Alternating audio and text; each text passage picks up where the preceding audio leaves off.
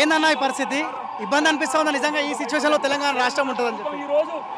ఈరోజు ఎంతో ఉన్నత చదువులు చదువుకున్నటువంటి అద్భుతమైనటువంటి భవిష్యత్తు ఉన్నటువంటి అమ్మాయి ప్రబలిక అనే అమ్మాయి పోటీ పరీక్షలకు సన్నద్ధమైతూ ఇక నాకు ఉద్యోగాలు కల్పన కల్పించలేదు. తెలంగాణ రాష్ట్ర ప్రభుత్వము పది సంవత్సరాలుగా ఎదురు చూస్తుంటాయని చెప్పి ఈరోజు సూసైడ్ లెటర్ రాసి ఆత్మహత్య ఇప్పుడే డెడ్ బాడీని తీసుకుపోతా ఉన్నారు. అందరు విద్యార్థులను విద్యార్థుల మీద లాఠీ చార్జ్ చేసి తెలంగాణ రాష్ట్ర ప్రభుత్వం నిర్లక్ష్యం టీఎస్పీఎస్సీ నిర్లక్ష్యం కారణంగానే ఈరోజు విద్యార్థులను ఆత్మహత్యలు చేసుకుంటారు. అవన్నీ కూడా ప్రభుత్వం చేస్తున్నటువంటి హత్యలే.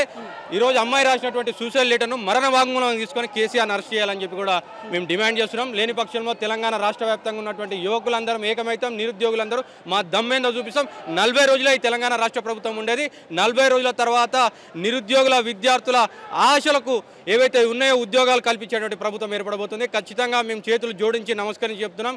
ఎవరు కూడా విద్యార్థులు విద్యార్థులను ఆత్మహత్యలు చేసుకోవద్దు ఆత్మస్థైర్యం కోల్పోద్దని చెప్పి కూడా మేము భారతీయ జనతా పార్టీ మేము పిలుపునిస్తా ఉన్నాం.